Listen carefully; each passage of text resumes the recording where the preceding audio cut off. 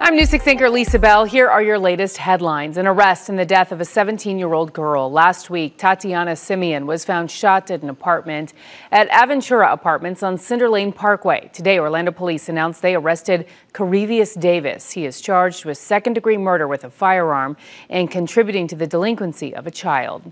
Instagram videos showing a stolen vehicle and multiple guns lead to the arrest of two teens. Volusia County deputies say Vincent Shalkowitz and Jeremy Jones were planning to commit a kidnapping. Deputies said they were reviewing videos posted online by Shalkowitz. They saw video of him driving a stolen SUV while brandishing a gun. 19 year old Jeremy Jones was in the passenger seat flashing a stolen gun.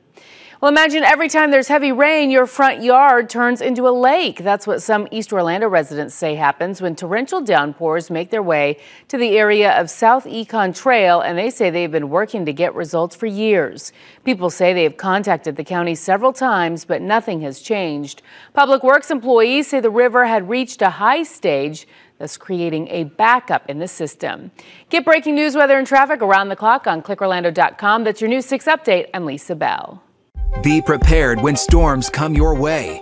Stay safe with tips and info from OUC's Storm Center.